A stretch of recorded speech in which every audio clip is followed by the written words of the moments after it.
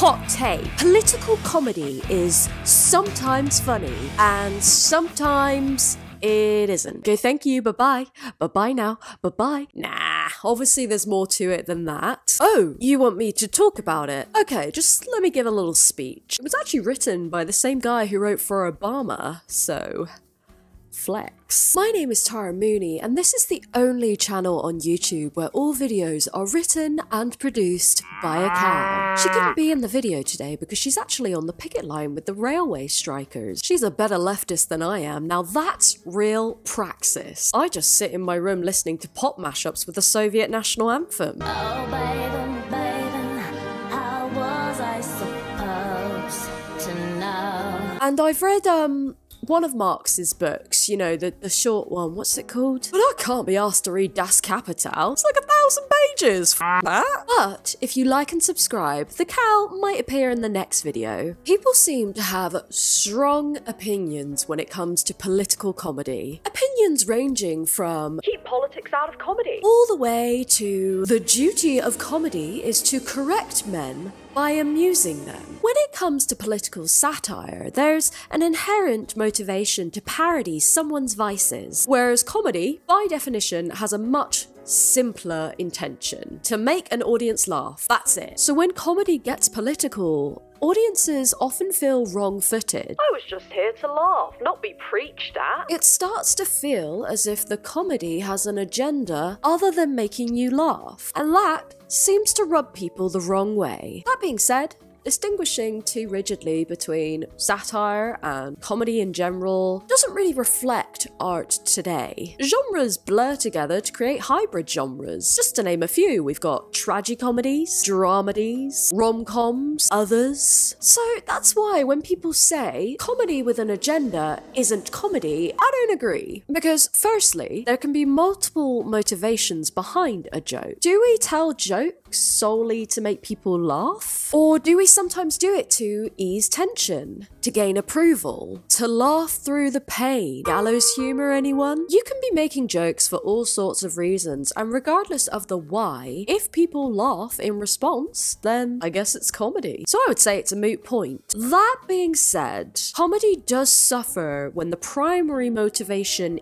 isn't to make people laugh. And say if it's instead, for instance, to make a jab at someone. A classic example of this is SNL covering Trump. Even if you agreed with the anti Trump message, which obviously I did, hello, SNL sketches on Trump got very tired very fast. In fact, all Trump related comedy got very tired very quickly. And obviously, some of this is because, you know, no one can be funnier than Trump because he's just a parody of a human. He, feels unreal, really. But a big thing is that repetition kills humour, which I'll get to later. And also, you could sense that they were just doing it to call him out. The motivation was spite. That's often not very funny. And that meant that the humour side of things got neglected. It might not be good comedy, but it is still comedy, and there's a reason I say that. The label comedy is often used as a get out of jail free card from criticism, as if something being comedy means it's exempt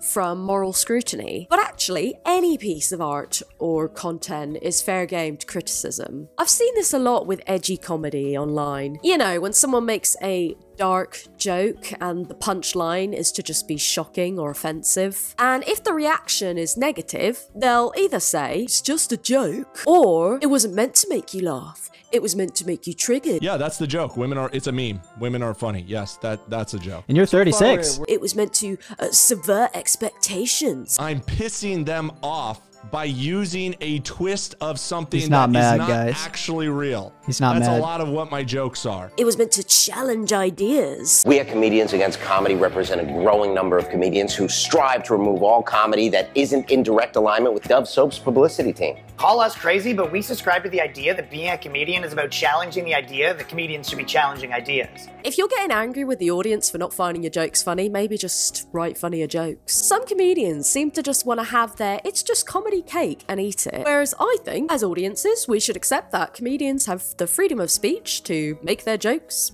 say what they want to say, and then we, in return, have the freedom of speech to respond to what they say. And they just have to deal with it. It's that simple. With all that in mind, I want to work out why political comedy flops so much of the time. But before I do, here's a message from today's sponsor that was also written by Obama's speechwriter. Don't look that up.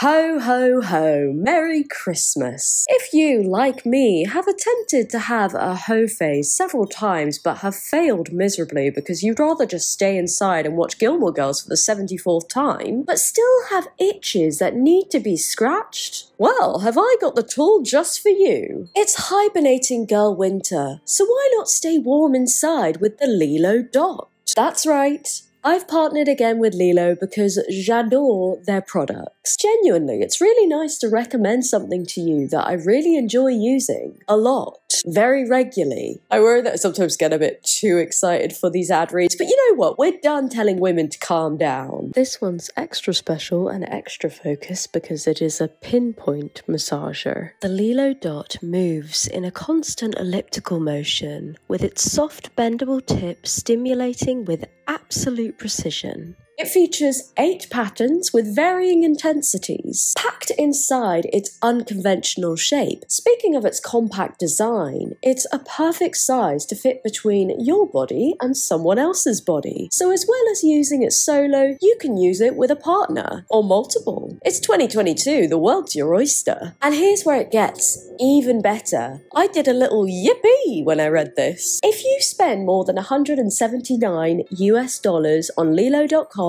you get a free SONA that hits the spot, literally as well as figuratively. And it's waterproof, and it has long lasting charge. I mean, what are you waiting for? For Santa to get it for you? Because if you are, there's something I need to tell you. Click on the link in the description to get your own LELO Dot. And thank you, LELO, for sponsoring. Love ya! The case study for today is an online publication called Babylon Bee. Babylon Bee, fake news you can trust. Babylon Bee is a right wing Christian news satire site, often described as the conservative version of The Onion, except The Onion is funny. Now, I'm already aware of what the response will be from many people in the comments. Well, of course you don't find this funny. You're left wing. No, no, no. See, that's where you're wrong. Most liberal political comedy isn't very funny either. But colleagues of mine have already made videos dissecting this. The reason I picked Babylon Bee is because they're a perfect example of how a publication can once be capable of successful and even sometimes funny satire to completely losing any ability to make a single joke. In the first year or so of the site's existence, it focused more on the Christian satire. So it poked fun at televangelists and uber evangelicalism. Then something changed. Two things changed. One, Trump became president in 2016. And secondly, Babylon Bee changed ownership. The Christian satire took a back seat, and the content that took its place, well, let's take a look. I have a feeling that this one's going to be a doozy. I don't think I could go at it alone. I think I might need some help from a friend. Me? Excuse me, um, I love you. Are you ready to um, ingest some brain worms with me? No, but I'm excited to go on this journey together. Ooh, woo. Ooh, woo, indeed.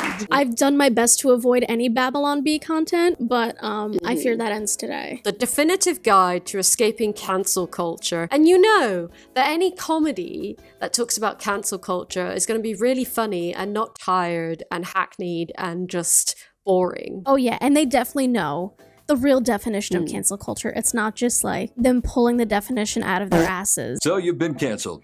Sad. Seriously, though, serves you right for saying, Ooh, that song is gay on AOL Instant Messenger when you were in high school. Shame on you. Now the mob is out to destroy your life with devastating amounts of accountability. Never fear. We at the Babylon Bee are experts in getting canceled and can help you out. The cancellation being referred to here is when Babylon Bee got suspended for 12 hours for tweeting that government official Rachel Levine was Man of the Year, targeted harassment of a trans individual. Now, as per Twitter's rules and regulations, the countdown would not begin until they delete the tweet, which they refused to do, and Basically, this led to them going viral. Long story short, this made Elon Musk very horny for freedom of speech or whatever. And one of the first things he did when he bought Twitter was reinstate Twitter accounts that had lifetime bans. And those accounts included Jordan Peterson, Kathy Griffin, and the Babylon Bee. Here are a few pointers. First thing you've got to do offer a tearful and heartfelt apology, which always makes cancel mobs go away. Apologies never make things worse. Cancel mobs are extremely forgiving and will always offer forgiveness if you apologize. These people do not understand basic human interaction. Just because you say you're sorry, that doesn't mean the other person has to forgive you. You know what I mean? Yeah, absolutely. It worries me because it's like, is this how you treat the people you know in real life? Probably. Like, if you do something shitty and you apologize, like, you automatically expect to be forgiven just because you said you're sorry. And like, the other person should forgive you and stop being sensitive anyway. You don't even need to mean it. I'm sure we all mm-hmm. know people like that. Be the world's most famous author or the world's most famous comedian. If your name is J.K. Rowling or Dave Chappelle, you might be okay. If not, tough luck. This is interesting because it's not as if conservative Christians ever cancel. You could even go back to the early 2000s for an example of conservatives like canceling someone when I think it was the Dixie Chicks who like called out George Bush and like that ruined their career. Traveling Soldier, one of their big hits about a soldier who dies in Vietnam. But of course, the soldiers on everyone's mind that night were the men and women poised to invade Iraq. Just 15 words, but they were 15 words. Just so you know we're ashamed, the President of the United States is from Texas. It started with angry calls to radio stations. We're going to boycott them for their music, and we're going to boycott you for playing it if you don't stop playing it. Well, ma'am, that was the last one you're going to hear. Hundreds of stations simply stopped playing the songs they had celebrated over and over again hours before. I love their songs, but I don't agree with what they did. Thank y'all for pulling the Dixie Chicks, and I think we should be just as embarrassed for them. One columnist said she might have well have said Osama bin Laden as her lover. Oh, I, mean, I can't believe that's even worth repeating. Stupid broads. You know, and, and we'll take the heat for our mistakes, but this is a little out of control. I mean, when people say things like Saddam's angels, on the internet, they had pictures of you all with Saddam. Doctored right? pictures, and that's that's internet stuff. It's ridiculous. Pictures. Clear that up. We did not have our picture made with Saddam. I remember um, buying one of my first CDs, and it was like the 2002 Grammy nominees, and they were on there, and it, with their cover of Landslide. Gosh, they, well, that's a nice little throwback. Sorry that your career ended. Sorry your career ended because you're based. I think we were one of the first people to feel that cancel culture, and I think you know what we said back there, or what I said back then, would not even be a thing today because it was right. really mild compared to what people say today. Hey, Dixie Chicks, if you want to come on the pod, hop on the pod, message me. Invent a new gender for yourself. Claim discrimination. Oh, God, that's so funny! Transphobia's funny! Did you just assume my gender? The one joke. The one joke. One joke. I'm surprised it took, you know, uh, one minute, 20 seconds to get to that, the one joke. Now go forth and do whatever you want without having to fear the consequences. Uh, shall I write a comment? Yeah. What shall I say? Oh, I could mention how um, apparently, I don't know if you knew this, Anna, and I don't know if this is true, but I can't be asked to verify it. Apparently, cats, when they're pregnant with a litter, can have two dads. So if you're a cat and you want to have a hoe face, yeah. Okay, I'll write that. So, cats, when they be pregnant, can have two baby daddies in a litter. Modern women, eh? That's a low value woman right there. That's a good comment. I'm proud of that. I have a feeling, you know what? I'm hopeful. I think this one might actually be funny, Anna. Fingers crossed. As Sesame Street continues to educate children on how the world works in this day and age, the show has introduced a character who is blamed for all the world's problems Todd, a Muppet who's a white male. Uh, I'm getting some breaking news. Despite being a fictional character and a Muppet, Todd has been canceled simply for being white. Sounds like Todd is about Jesus to make a statement. Let's check that out. Whoops, sorry. Powerful words from a piece of felt. In other news, the CDC has announced that vaccinated people can now punch unvaccinated people in the face. Oh, crap.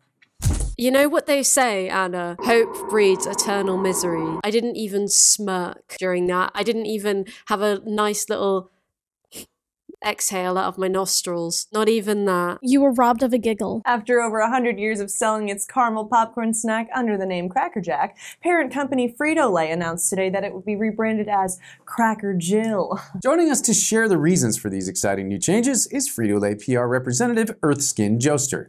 Earthskin? In these changing times, I think that was like their way of making fun of non binary people who choose like unconventional names or just like trans people who choose unconventional names. That is that is really clever. Peak comedy. That is clever of them.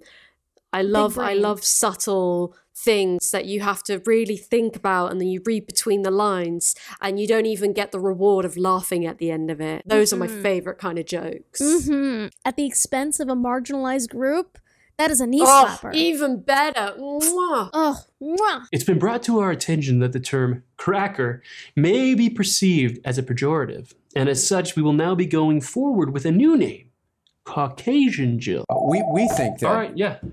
Yeah, I got it. Okay, so we ran it by a study group, and they all pointed out that Caucasian has the word Asian right in there. And you know what? We're just going to call it White Jill. Okay, so we feel that Jill is a little too specific and exclusionary. I feel angry because I know that I'm only on this earth for a certain amount of time and I feel like I'm losing it to watching these videos. You could argue that's our job in general with YouTube. A lot of our time is just dedicated to researching shitty people. But someone's got to do it. Could you argue that this is almost like kind of like a critique the left makes how like this like virtue signaling and representation and like certain media doesn't actually do anything to help those marginalized groups or is that too deep of thinking for them? Our new name is going to be White Pow. Did he just was he going to make like a white power joke? Yes, I think so. This is literally not funny. It's just not funny. It's just not funny. Like I, I have the straightest face. For someone who is not straight, I have the straightest face right now. This is the straightest thing you've done in years. I haven't been this straight since I was closeted in high school. You know what, Anna? Um, this channel is very versatile. The politics might be one note, they might only tell two jokes. However, their content does vary in that not only do they uh, create, you know, live action sketches and stuff like that, they also produce animation. Oh no. This monster kills if it hears you, ellipses, say an opinion it doesn't like. Ooh, I wonder what those opinions will be, Anna. Oh. Don't make a sound.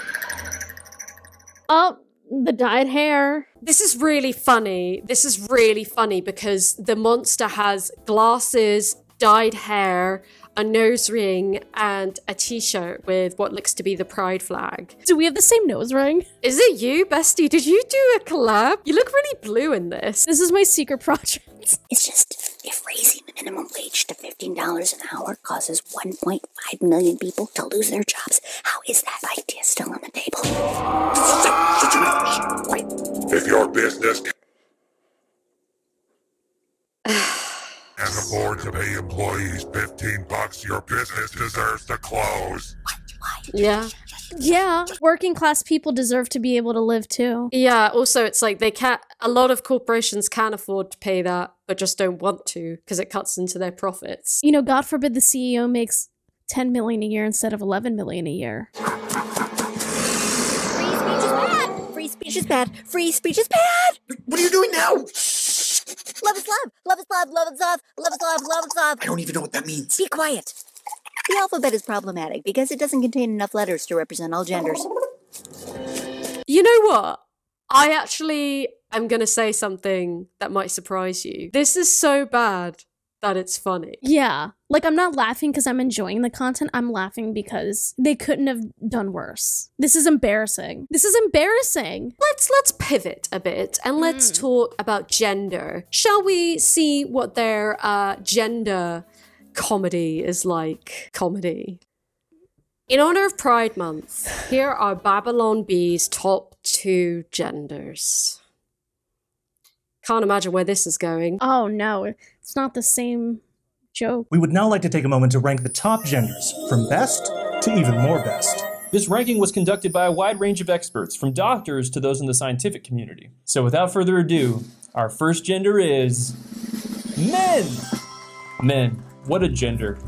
sometimes there for you when you need them the most. Thoughtful and thoughtless, all at the same time. And they're hairy. Thank you, men, for being male. And our next gender in our ranking of top genders is. Women! Wow, women. Now there's a gender.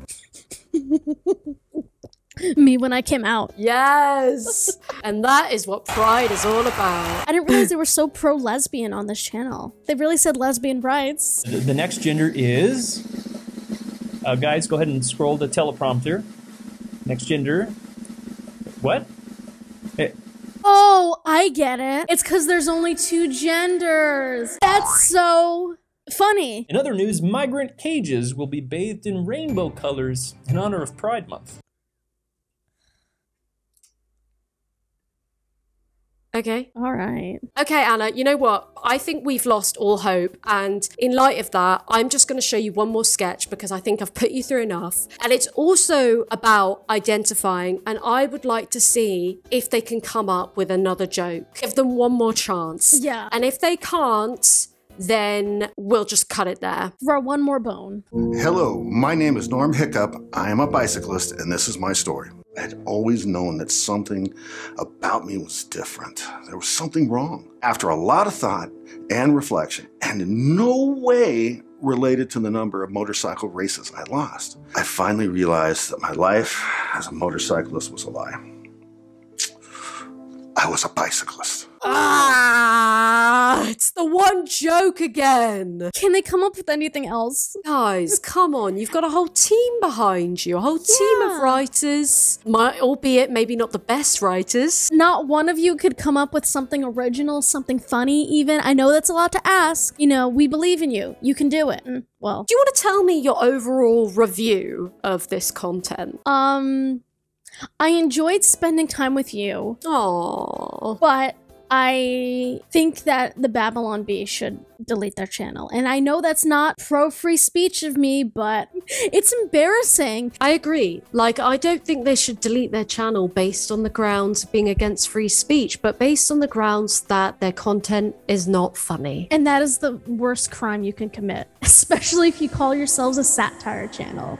I thought that would be a good moment for me to jump on with my analysis. We actually filmed this several months ago, and because of various life things, I finally managed to get this video put together. And since then, Elon Musk has bought Twitter, Elon Musk has destroyed Twitter, Roe v. Wade was overturned, we've recently had yet another mass shooting specifically targeting the LGBT community, and I think I've come to realize what it is that makes the Babylon Bee so unfunny. So here are the main reasons why they aren't funny. And the first one is an obvious one, which we've already touched on, and it's that they're punching down. They're attacking a marginalized group and further contributing to their marginalization. And what's even worse is that they're doing it on purpose. The motivation behind said jokes is hatred. And the second thing, repetition, repetition, repetition. They really do just have one joke. They claim they have two jokes. All right, guys, listen up. As conservative comedy writers, it is not good that we only have two jokes. We've got blank identifies as blank, and did you just assume my gender? But those are the same joke. And to make things even better, is that they claim they're in on the joke, the, the joke that they only have one joke. They claim they're in on that joke, which is just amazing. I'm not owned. You're owned. Thirdly, it's not successful satire anymore. When they satirized televangelists, the reason that worked is because they were parodying truth. And that's a shame. Not only because of the social harm it does, that's obviously the most important one. But if we're just talking about this through the lens of comedy, people who have worked for the Babylon Bee, I don't know if they're still there, have been able to create funny content. If they just stuck to the Christian satire and, you know, the silly jokes about dads, they'd be gravy. But unfortunately, their motivation to make a point about how invalid they think trans people are has snuffed out any flame of humour. Well, I guess they're making a lot of money, so it does it really matter? They're making more money than me. and just to apply this on a personal level, I really do think that the best humour is with pure intention. The funniest jokes are the ones where the motivation was just to be funny. Like if I look at my own work, for example, my videos that I think are the funniest, personally, are my classically Abby videos. And I think a big reason for that is that my intention going into those videos was just to say, look, this is really goofy, isn't it? Yes, I was criticizing a conservative woman, but any points that were made about society were kind of just a bonus. And this is a tug of war I have when it comes to creating my content. Do I want to be a fun loving commentary channel that just makes a bit of goofs and gaffs? On the other hand, do I want to be a hard hitting video essayist? I'm trying to find a way to marry the two. At least that's what I'm trying to do. I know I don't always get it right. But yeah, I think that's about it for today. I just wanted this to be a short but sweet one. Sorry I've been gone so long. Uh, long story short, my bathroom ceiling collapsed and I had to move really suddenly. Whoops. So yeah, that was a doozy. But I'm back and I'm ready to pop out them videos like t-shirts out of a t-shirt gun. So yeah, thank you so much for watching and I will see you in the next one. Bye-bye. Bye-bye now. Bye-bye. Bye-bye now. Bye-bye. Alrighty, well, hello, sinners. This is Annamarie, and I am so honored that my cats have been picked for the subscription pet shout out for this week. So let me introduce you to them. First up, we have Molly. She is a gorgeous calico kitty. She's gonna be 10 years old next year. I can't believe it. Time flies by so quickly. She is a little shy and elusive, but once she feels comfortable around you, she is so sweet and affectionate, and she loves to cuddle with my squishmallows. Recently, she has been going through um, some health problems with her tummy. Thankfully, she's on the mend now and she's feeling a lot better, but still, please send her some good vibes. Next up, we have my younger cat. His name is Grigio. He just turned six back in April. He is a mackerel tabby cat. But uh, when he went to the vet recently, we found out that due to his size, that he might be part wildcat, possibly part Maine Coon. He is a very sweet boy. He has the cutest voice ever whenever he's um, chirping for food or just attention. It's just the sweetest sound. He's very playful. He is very sweet. He's not the most affectionate kitty, but he just likes to be in people's presence and he's very social when people come over. He especially loves my partner. Yeah, those are my cats. I love them dearly. They are the best cats I could ever ask for, and I'm so happy to have them in my life and I'm happy to share them with you all today.